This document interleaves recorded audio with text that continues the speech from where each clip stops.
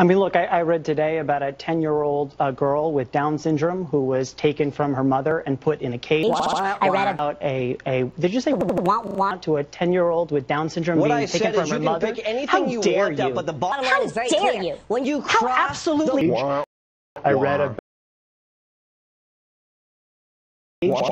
I read, read about.